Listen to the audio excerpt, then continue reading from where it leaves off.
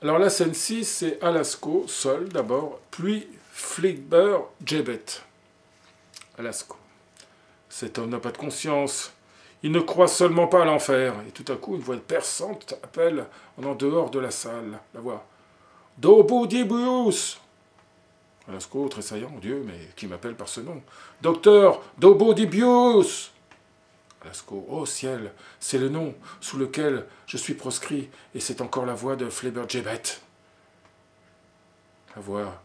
C'est Fleber Jebet lui-même Alasco, cachant son visage dans ses mains, et en quoi en plein jour Maintenant, grâce, grâce? La voix. Grâce à une condition répond la voix. Laquelle parle? Que veux-tu? Jebet saute par la croisée ouverte et paraît, costume de diable, couleur feu. Jibet, montrant le panier de provisions. Je peux Je veux Je veux un morceau de pain et un coup de vin. Lascaux, relevant la tête avec surprise. Quel langage pour une ombre Il considère Jibet, qui a ouvert le panier et en a retiré un flacon et du pain qu'il mange avidement. Mais tu n'es pas mort Jibet mangeant. S'il fait vraiment de faim et de soif. Alasco le touchant.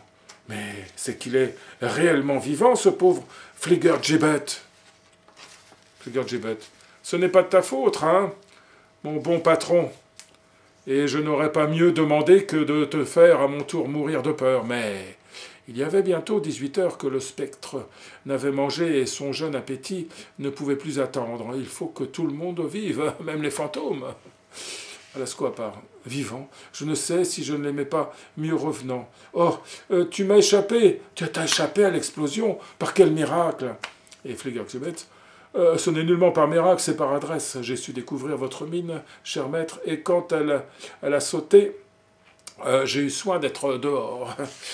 Alasco, oh, je te jure, enfant, Gibet, laissez donc là vos serments, je vous connais, je connais de plus vos secrets, ce qui fait que vous me craignez et que je ne vous crains pas. Alasco, pas. Maudit petit drôle, ah, cher Fligergibet, laissons le passer. Je t'assure que je me réjouis sincèrement de te trouver en vie. Mais réponds à mes questions. Comment es-tu ici Fligergibet J'y suis euh, censément pour servir les obscurs desseins de votre complice, Varney, sur la mystérieuse dame qui est cachée. Ce Varney, encore un dans le jeu duquel je commence à voir clair. Alasco? Mais euh, quel est, dis-moi, ce bizarre déguisement Fligergibet L'état de sorcier est trop dangereux. Je suis devenu comédien. Je fais partie de la troupe qui doit figurer au fait que le comte de Leicester donne à la reine. Je joue les diables et les lutins euh, dans les mascarades de Shakespeare et de Marlowe, et je porte le costume de mon emploi pour me distinguer parmi les gentilshommes. Oh, le singe oh, Es-tu content au moins de ton nouveau métier? Hum, pas trop. Euh, je m'ennuie à répéter toujours les mêmes phrases, à, faire les mêmes grimaces, et de nature je suis curieux, j'aime être libre.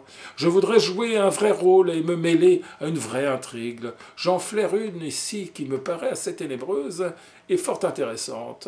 Et c'est pourquoi je n'ai pas rejeté les propositions de votre Varnet, tout en me promettant de n'y prendre que la part qui me conviendrait. Alasco, eh bien, veux-tu venir avec moi? Bah, pourquoi pas? Mais avec les réserves et précautions, oh, je vous le déclare. Alasco, mais comme tu voudras, je désirais moi-même en savoir sur la mystérieuse dame, comme tu l'appelles, et sur Miller Leicester, plus long que Varney, ne veut m'en dire.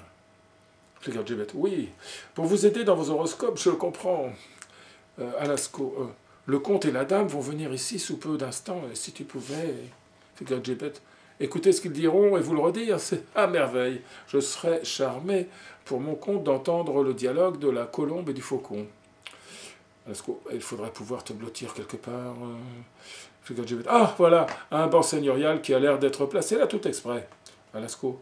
Eh bien, dépêche-toi, euh, j'entends venir quelqu'un, et il aide Fligergibet à se tapir euh, sous le grand fauteuil et à part. Euh, si on pouvait le surprendre là et le pendre aux gouttières du château, quel débarras Figure Gibet euh, sous le banc. On vient, vite rentrer, docteur Dobujibius. Oh, ne m'appelle pas de ce nom, dit Gibet. Bon, le serpent a fait peau neuve, et Alasco rentre dans la tourelle.